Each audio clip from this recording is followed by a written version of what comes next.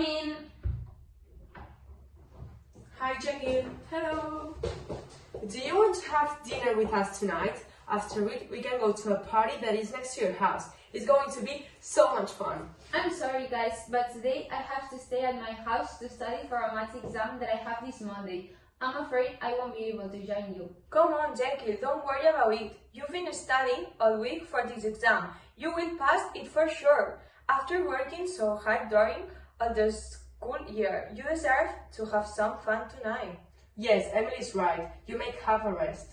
I'm not sure if I can go. I really need to review for this subject because I want to get a good grade. Come on, dude, don't be so boring. We cannot have fun because of you. You are too nerdy.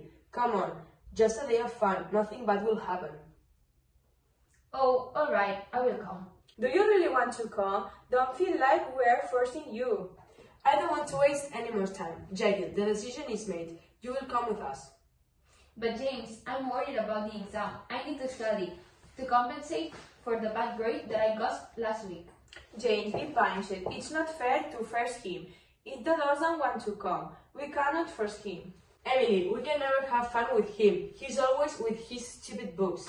James, don't be so rude and try to understand me. I will come just for a bit to make you happy. That's what I wanted to hear.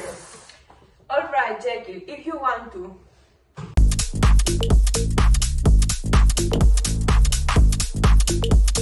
I've been here for a really long time. I want to go back home.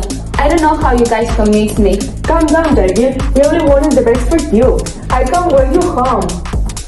No, stay with me. James, shut up. If we want to leave, Let us. That's right. You cannot tell us what to do. Let's Okay. leave him alone. yes. Okay, goodbye. I will make new friends.